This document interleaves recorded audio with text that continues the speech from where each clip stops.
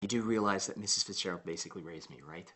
Brendan's my best friend. What the fuck are you thinking? Shut the fuck up, Master Rivera. You're crossing a very dangerous line. Remember who you're talking to. We have a problem. Now what's the matter? I can only keep Mrs. Fitzgerald sedated for so long. You're keeping her sedated. Who the fuck is this?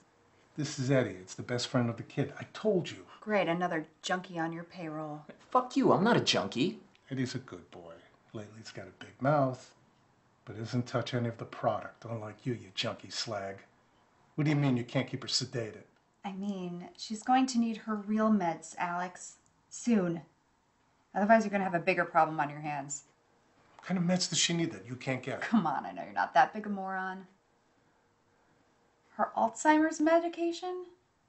She's obviously on a very specific regimen of pills. They need to be taken at specific intervals throughout the day. It's been two days. She's slipping pretty bad.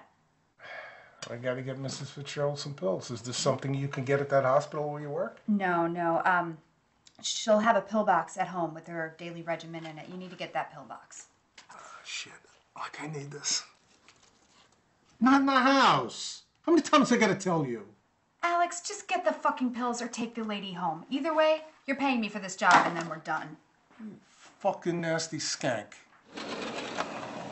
So you know what you gotta do then, huh?